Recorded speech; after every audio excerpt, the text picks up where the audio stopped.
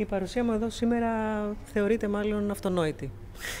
Μετά από τόσα χρόνια παρουσίας σε ό,τι κάνει το ΚΚ, ε, θεωρώ ότι έχουμε συνδέσει πια τις πορείες μας και δεν είναι μόνο θέμα ιδεολογικό.